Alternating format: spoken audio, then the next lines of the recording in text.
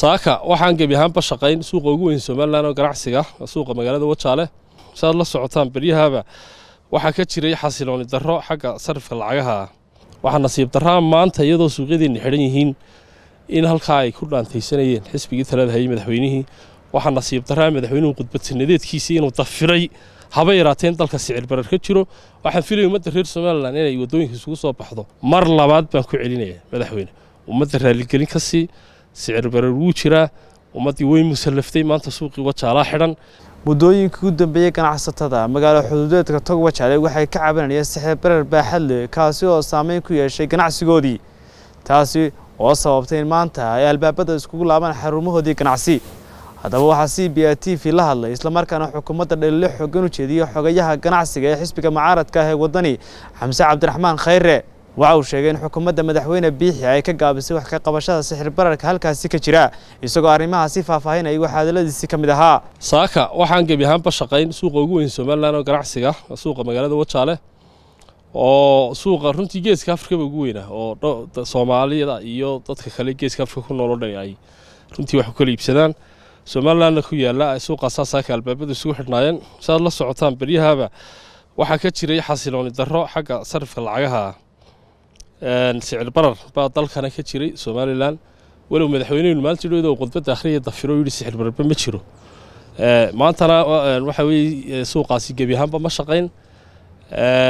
Waxaana runtii sababuhuna way fara badan yihiin. Waxaa ka mid ah dhibaatada dhaqaale ee dalka mushaarkanaha etoobiya ka jirta iyo sicir bararka somalilan ka jira. Labadaba runtii way sababeen. Lacagtii etoobiyaanka ahayd ee birta ahayd ayaa runtii aan fadhiyin sarifkeedii toddoba kun lix kun sideed kun maanta dadkii wax waxay ku iibiyaan.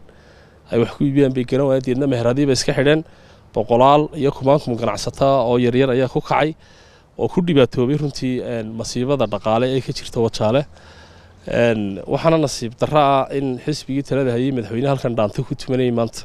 Oo aanu arrimahaasoo dhan aanu waruhayn sababtu way badan tahay sarifka iyo xasilin doorada etoobiya ayaa runtii qayb weynka ah sicir bararka somalilan ka jira qayb weynka ah marka masiiba dhacdo dhaqaale. Sababtana waa la raadiyaa wixii dee ka dhashayna waa la daweeyaa marka dhibaatada xukuumaddeena haysata waxa weye waxay odhanaysaa arrintaasi adduunkay ka dhacday arrintaasi etoobiya ka dhacday arrintaasi maxay ka dhacday iyagoo markaa aan wax tallaabo ah ka qaadeen wixii ka dhashay sidii loo daweyn lahaa.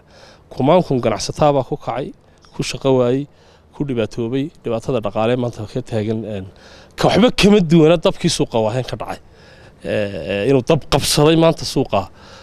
Kama duwana wax tala iyo xal dhaqaalaah oo ay xukuumaddeenu haysaana ma jirto runtii. Way waxaa jirtay wadahadallo ay labada xukuumadood xukuumadda deegaanka soomaalida iyo xukuumadda somalilan wasaaradda maaliyaddu ay maalmihii u dambeeyba ka howlanaan sidii bal sixir bararkaasi ka jira wajaal wax looga qaban lahaa. Bal arrimahaas xagee ku dambeeya ma kartaase maxaa sabab noqday inay meedhari waayaan oo dee meesha xidhantaba maanta dhibaatada ugu weyn ee jirta waxaa weeye horta suuqii ganacsiga wajaale wuxuu noqday suuq lagu kala iibsado lacagaha yacni suuq maaliyadeed ama suuq sarif buu noqday. Waxaan u malaynaya haddaan qiyaaso maalintii ilaa shan milyan oo dollar ayaa ayaa lagu sarrifaa lacagta dollarka. Dollarkaasi wajaalena ma yaallo iyo etoobiyaan baa la isku sarrifaa. Etoobiyankana wuxuu ka yimaadaa suuqyada etoobiya dollarkuna dubayo dhulkaas ka yimaad wajaalaa lagu kala bedeshaa si aan aan farsaman ahayn oo aan siyaasad wacan ahayn bay dowladdeenu u faragelisay. Waxay sababtay inay cabsi geliso oo ay xidhxidho sariflayaashii. Dabeedna xadhiggaasi wuxuu keenay in dadkii waayaan suuqa ay ka adeegtaan oo ay ku kala iibsadaan lacagihii oo ninkii sarifliiba lafiisu u baxsanay faragelin badan baa runtii ku dhacday. Suuqa somalilandna waa xor.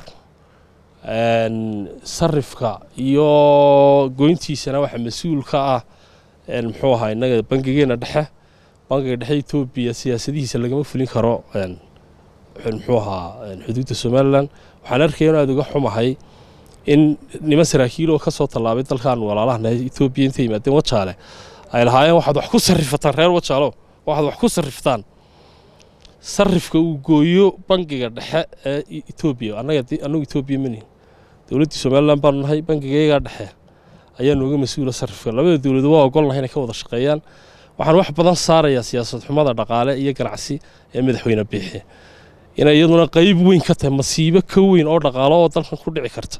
Oon xukuumadda muuse biixi ahayn ma jirto. Masiibooyinka dhacay ee kofir kale ee leh abaarta ee leh sicir bararka dhaqaalo xumada iyo siyaasad xumada xukuumadda iminka talada haysa iyo mas'uuliyad daradeeda runtii qayb weyn ka ah. Waxaa nasiib darraa maanta iyadoo suuqyadeenna xidhan yihiin in halkaa ay ku dhaantaysanayeen xisbigii talada hayay madaxweynihii waxaa nasiib darraa madaxweynuhu khudbadsanadeedkiisii inuu dafiray haba yaraateen dalka sicir barar ka jiro. Waxaan filaya ummadda reer somalilan inay waddooyinka isugu soo baxdo oy madaxweynaha ku mudaharaado. Mar horena madaxweyne waxaan weydiiyey inuu dadka raaligelin ka siiyo inuu yidhaahdo sicir barar ma jiro. Mar labaad baan ku celinaya madaxweyne ummadda raaligelin ka sii sicir barar wuu jiraa. Ummaddii way musallaftay maanta suuqii wajaalaa xidhan waxa weeye sababtii doontaabaha keentee la tacaalideeda iyo wax ka qabashadeedu xil adiga ku saaran weeyi.